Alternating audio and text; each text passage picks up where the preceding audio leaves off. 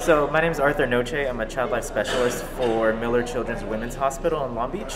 Um, what we do is kind of normalize the environment for the kids. So working with Avengers Initiative is definitely a plus, especially when we run our um, special programs and events for all of our patients, kids, just to feel like they're not in the hospital and they're not stuck there. And like, hospital's a really scary place. So, you know, being able to see like superheroes and and um, you know like Star Wars people, like Star Wars characters, like it's always a good experience for them to, to be able to do that.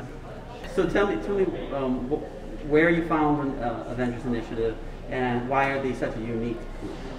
So um, it's really embarrassing, but I, uh, I, I, found them on Google. Um, we needed somebody, we needed like a group of cosplayers and, and um, characters to show up at one of our Super Siblings events to um, you know, to visit the siblings and kind of make them feel like they, they're loved and, and they, they're getting attention too when they haven't been um, getting the attention they need, um, especially with their brother or sister in the hospital. So I did a quick Google search and like they they were the first ones that I found that I felt like connected with. Um, they were so nice. They their response time was was literally like within an hour and everything. Um, and um, they were the ones that never charged, you know. So I remember being embarrassed because I had to ask. I was like, "How much is this going to be?" You know, and they're like, "Oh, we do this for free." You know, um, there are a lot of like other characters and cosplay programs that um, they'll charge money for it, and I'm like,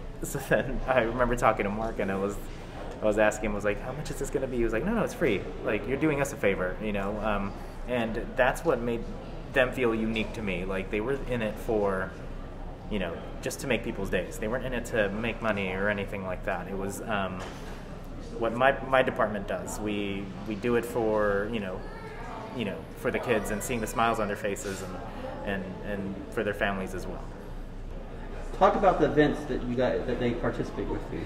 So I can name three right now. We did the Super Siblings events, which was for um, you know past and present um, patients' families and siblings that they could um, hang out and, and kind of get all the attention for once. Um, and they loved it. We that was like their first. That was the first time I reached out to Mark. Um, they made it really easy. They brought five or six different cosplayers, and um, they were great with the kids. Um, we also did a May the Fourth as well, but we did that was during COVID, so that was we had to actually film like a a show for the kids to watch on their TVs in the hospital and kind of feel connected to all the characters, uh, the Star Wars characters, whether it was Luke or, or, or Stormtroopers or um, or Darth Vader or anything.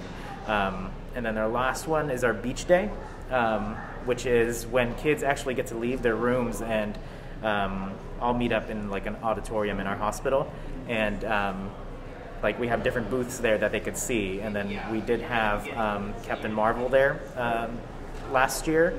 Our next one is actually in August. I don't know if we. I'm, I'm, sure. I'm sure Mark's going to be showing up with um, some cosplayers for that day too. But um, Beach Day is a really good, really great day for for our department and everything.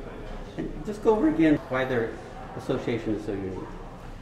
Um, they're so unique because they're so easy to, to talk to. Um, you know, they're sometimes I, I, talk to people trying to get them into to volunteer, and they're like, oh, like it's, it's a business, you know. And as much as a business this is, and the Avengers Initiative are, um, they also are very down to earth and easy to talk with, and easy to plan out, um, plan everything with.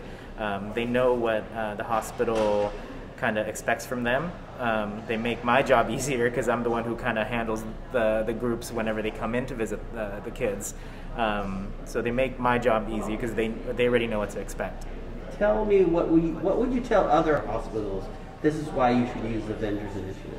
I would choose the Avengers Initiative over any other program for our hospital because they are just they make it so easy on hospital staff, on the healthcare team. They they know about the HIPAA violations. They know not to ask um, the kids certain questions about um, what diagnosis they have because that stuff is really private and it makes my job a lot easier to like just let them let them be and let them meet the kids and and you know make their patient, make the patients and families just smile, you know, for a day because this, the hospital is a really scary setting, and um, just seeing some somebody they're familiar with, whether it's Iron Man or Captain America or like even stormtroopers, like they they love it when they see something out of the ordinary, you know.